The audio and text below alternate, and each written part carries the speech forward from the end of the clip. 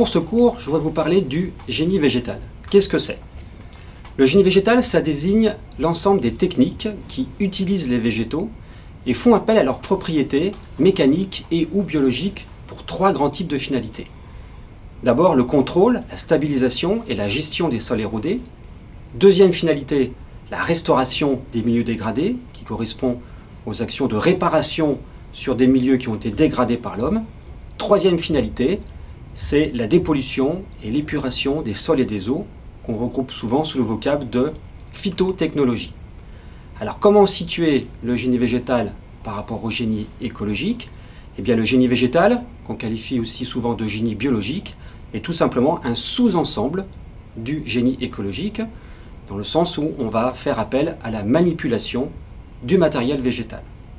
comment situer ces termes par rapport à l'ingénierie, ingénierie écologique et ingénierie végétale Eh bien, le génie se réfère souvent à la phase de construction des ouvrages, alors que l'ingénierie, elle, correspond plus à la phase de conception des projets et des ouvrages.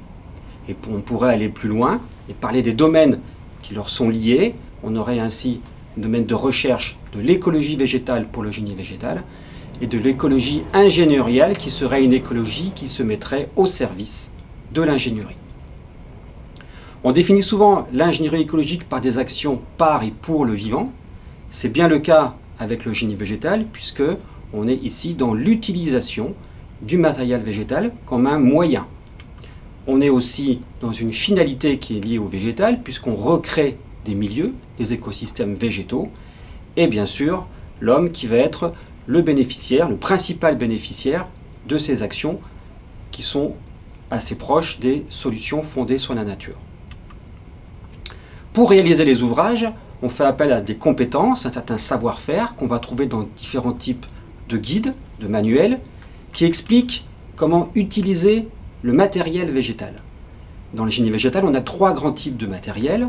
On a les graines, on qualifie souvent de semences, mais on a aussi les boutures, qui sont des parties de plantes sans feuillage ni racines, mais qui sont aptes à la reprise végétale, et les plants, qui ont, dès leur utilisation, un feuillage et un système racinaire.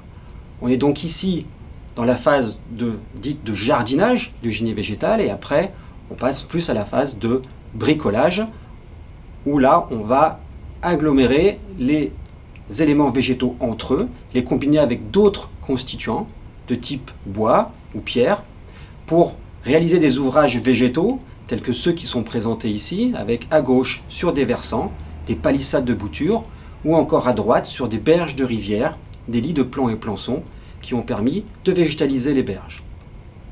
On l'a dit, il faut un certain savoir-faire et des compétences en génie végétal pour pouvoir choisir les espèces, choisir les ouvrages et les dimensionner, en répondant à deux principes élémentaires, le premier est de faire en sorte que les ouvrages et la végétation résistent bien aux contraintes, qu'elles soient d'ordre hydrologique, mécanique ou encore climatique.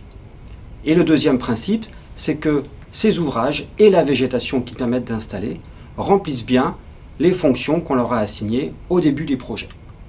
Ce qui est intéressant avec le génie végétal, c'est qu'il peut remplir différentes fonctions. On retrouve ici les trois grandes fonctions que nous avons donné lors de la définition du génie végétal, eh bien, on va voir que le génie végétal peut présenter différents intérêts et donc différents types de bénéfices. On a l'exemple sur cette illustration d'une stratégie innovante de génie végétal qui a été développée pour contribuer à prévenir les inondations dans les bassins versants. Le principe ici est de piéger des sédiments fins qui sont responsables d'un exaucement du lit des rivières plus à l'aval et on contribue ainsi, avec moins de sédiments, à avoir moins d'inondations. On voit qu'en même temps, cette technique permet de réinstaller une couverture végétale et participe donc à la fois à de la prévention d'inondations de la restauration écologique de milieux dégradés. Le génie végétal peut aussi constituer une alternative ou un complément au génie civil. Par exemple, dans les ravins torrentiels, on cherche souvent à mettre en place des seuils qui sont là pour casser l'énergie des torrents, eh bien on voit qu'on peut avantageusement remplacer des matériaux inertes tels que euh, les pierres, le béton, le métal ou encore les pneus par des matériaux plus nobles avec du bois, du bois mort et du bois vivant qu'on peut installer sur ces ouvrages. Sur les berges de rivières, on a souvent aussi recours à des techniques de génie civil, avec des digues qui sont bétonnées ou en enrochement. Eh bien, il existe des méthodes alternatives, comme par exemple les caissons végétalisés, qui sont des structures en bois à même de protéger les habitations, mais qui intègrent une composante végétale. La recherche se met bien entendu au service du génie végétal et elle s'intéresse à différentes thématiques comme la performance du génie végétal, en particulier des saules pour végétaliser des terrains dégradés, à la résistance des ouvrages, à la dynamique végétale des espèces et des communautés, et bien sûr à l'efficacité des ouvrages et des végétaux pour remplir leur rôle. À noter l'existence d'une organisation interprofessionnelle qui s'appelle Agibio, l'Association française pour le génie biologique ou génie végétal, qui regroupe en France l'ensemble des acteurs qui œuvrent pour un génie végétal de qualité.